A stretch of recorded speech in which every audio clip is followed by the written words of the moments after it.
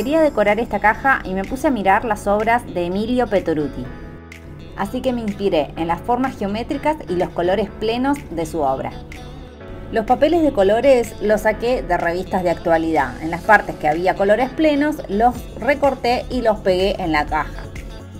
Por último le di una capa de barniz en aerosol y listo, ahí tengo mi caja lista para usar. En la descripción te dejo el detalle de los materiales para hacer esta caja. Y ahora decime, ¿qué puedo guardar en esta caja?